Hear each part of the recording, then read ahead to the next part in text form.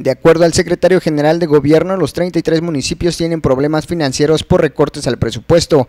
Ante la disminución de hasta el 50% de las partidas presupuestales federales, el gobierno de Morelos echó a andar un programa de austeridad que incluye la cancelación de vacantes, viáticos, vales de gasolina y la salida de funcionarios a otros estados o al extranjero.